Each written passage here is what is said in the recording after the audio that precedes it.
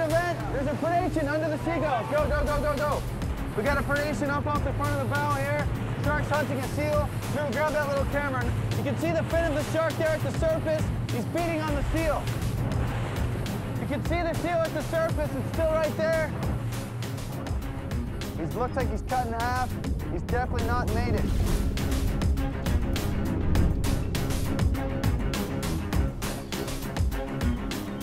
Under the seagulls. The shark's gonna come back to finish him off.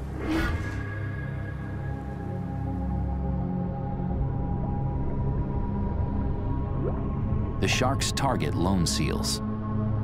Andy's taking advantage of that instinct to film their assault. He rigs a decoy to hold a miniature camera, which he can tow behind the boat. Really tiny little small HD camera. It goes into a foam housing so the shark can bite it safely.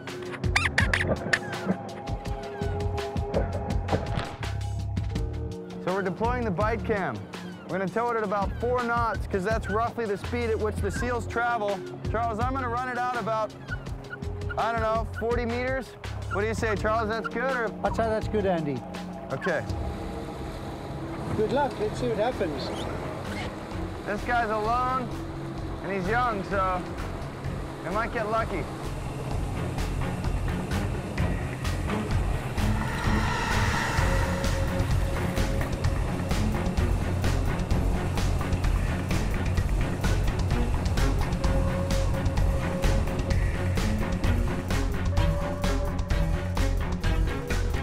Look right here, we even have a seagull patrolling over our decoy. See how it's hovering?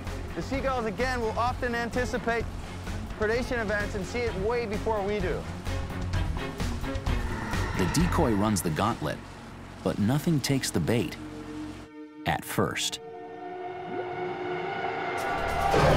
Breach! Just had a little shark breach on the bite cam. Andy's bite cam records the hit and an inside view of the shark's throat and gills. Until the shark spits it out. Check it out how these seagulls are reacting to that breach. They also think this is a real seal. They're waiting to pick up the pieces. But obviously it's rubber, so they're not going to get anything. But that's your lucky spot, huh, Charles? That's my lucky spot, absolutely. Wow.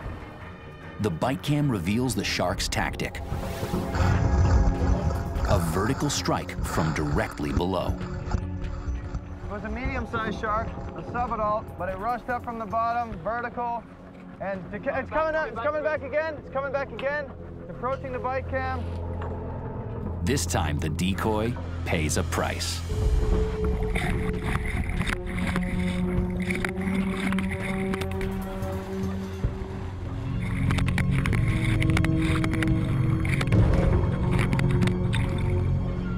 Check it out. It's our bite cam. It's missing its head. It's been decapitated.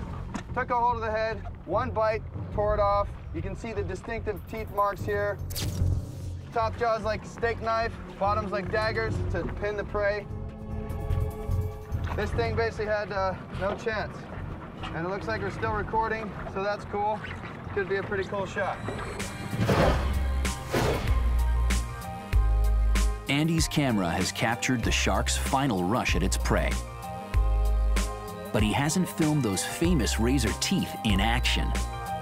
For that, he'll have to ditch the decoy and face the great white's monster bite.